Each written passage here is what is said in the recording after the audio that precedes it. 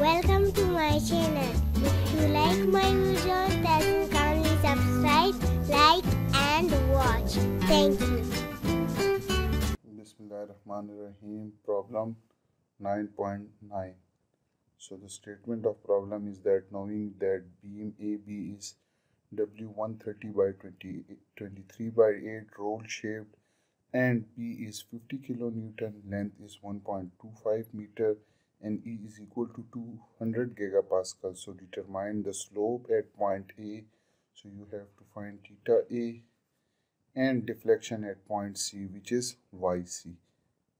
So let's start with the given data. So in given data we have given that P is equal to 50 kilonewton. Clear length of the beam is 1.25 meter clear modulus of elasticity E is equal to 200 gigapascal clear and the beam is W130 by 23.8 roll shaped. The cross section is shown over here. So you have to find the slope at point A which is the first part and in the B part you have to find the deflection at point C clear? So after deformation the beam will be like this one. So you have to find this YC clear? And there is a if you draw horizontal line so this will be theta A. So let's start with the solution. First of all, you will have to find the reaction forces at RA and RB. Clear? So you can see that the load is at the center. So it will be a symmetrical loading. Clear? So there is a P.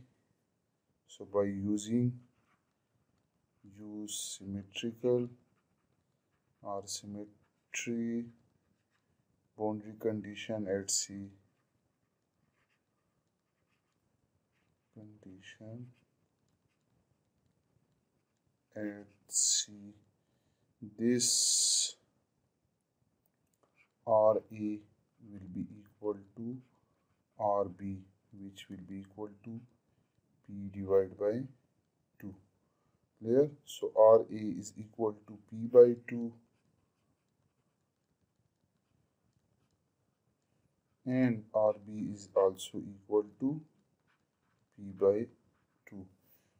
If, if you are not uh, if you are not familiar with this you can apply the boundary condition uh, sorry equilibrium condition. Sum of all forces and sum of all moment equal to 0 so it will also give you RA is equal to P by 2 and RB is equal to P by 2 clear? Now we will uh, we will find the moment equation for a bowed beam clear. So for that we will take the section of the beam at any point. So let we section the beam at this point. So i will draw it over here. So this is reaction force ra clear. This the, the beam is cutting at a distance of x this distance is x. Here so if you cut the beam there will be a shear force and a moment at this point. That this point is j and this point is point a. Now we will apply the moment equation. Moment sum of all moment about point j is equal to 0 so you can see at point a point j we have only moment m which is counterclockwise and we assume that counterclockwise is positive. And one moment about uh, point J is due to this RA into X and it is clockwise so it will be minus RA into X is equal to 0 so it means that this moment will be equal to RA into X and RA is P by 2 so it will be Px by 2 so the moment equation for this beam is equal to Px over 2 there. Okay.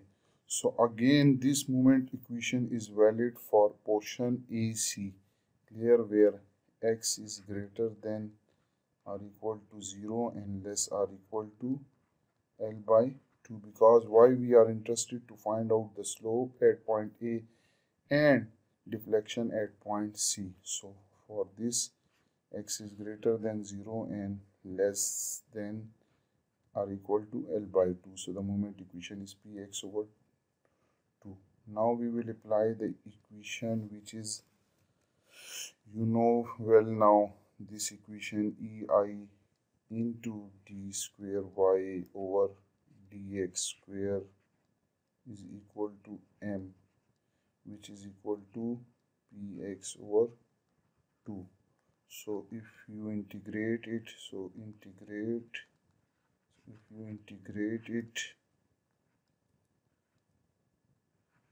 so this equation will become equal to ei into dy by dx is equal to px square over 4 plus c1 here again integrating this equation again integrate it.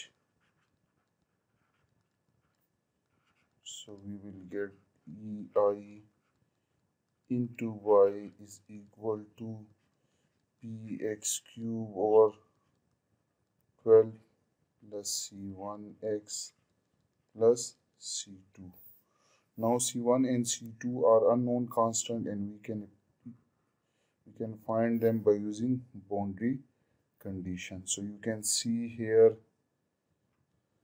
at x is equal to 0 y is equal to 0 and you can see that point C there is a maximum deflection.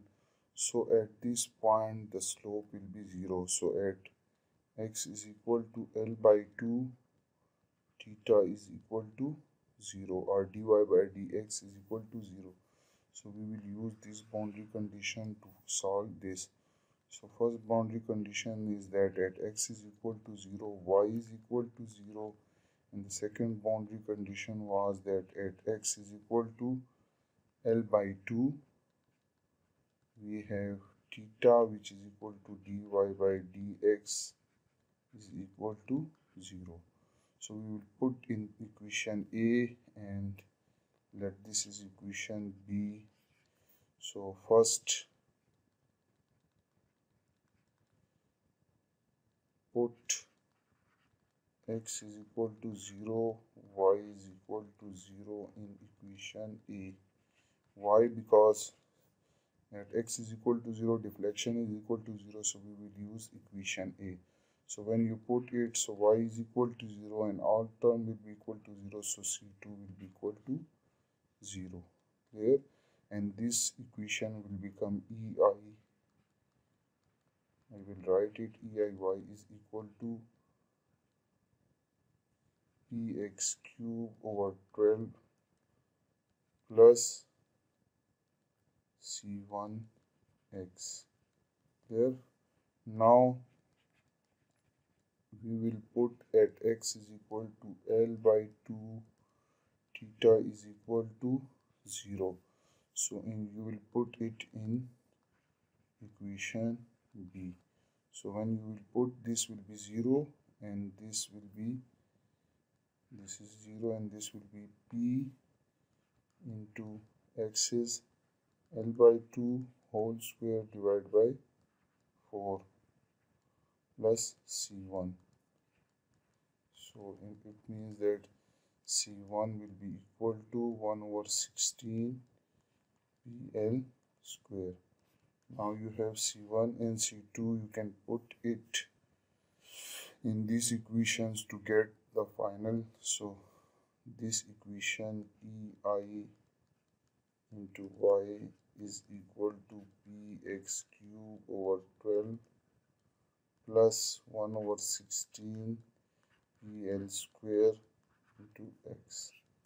This is equation for finding the deflection. Clear? And when you put the value of c1 in this so this equation will be equal to ei into dy by dx which is equal to slope is equal to px square over 4 plus c1 is 1 over 16 pl square. Okay. So here you can see c1 will be equal to minus so it will be again this will be minus and this will be also minus. There. Now you have to find the first one is that you have to find the slope at point a which is at x is equal to 0 so slope at point a so you will put x is equal to 0 so we will get ei i. Am using this equation. So ei into dy by dA is equal to theta a at a. So the first term will be equal to 0 and it will be 1 over minus 1 over 16 pl cube so it means that theta a is equal to pl cube over 16 sorry this is square. So pl square over 16 e i. So this is the slope at point a. Now we will find the deflection at point c which is b part deflection at yc and that is at x is equal to l by 2 so we will use this equation. There so when you put x is equal to l by 2 so ei into y that will become yc is equal to p into l by 2 whole cube over 12 minus 1 over 16 L square into L by 2 there so when you solve this so yc will become equal to minus pl cube over 48 e i. So this is the deflection at point c. Now we have given the numerical value of p l e. We do not have i but it is given that it is w 130 by 23.8 I think so. Let me check. W 23 by 8 23.8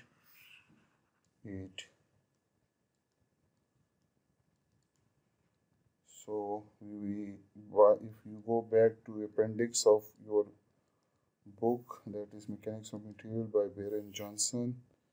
So you can find, I have already here shaded W130 by 28. So its moment of inertia is 8.91 into 10 to the power 6. So I is 8.9 into 10 to the power minus 6 mm 4 okay so from our above data that is given data I will write them below as well so kindly note them. So P is given as 50 kilonewton so 15 to 10 to the power 3 newton. I is 8.88 something which is 8.9 into 10 to the power minus 6 sorry this is plus 6 millimeter 4 4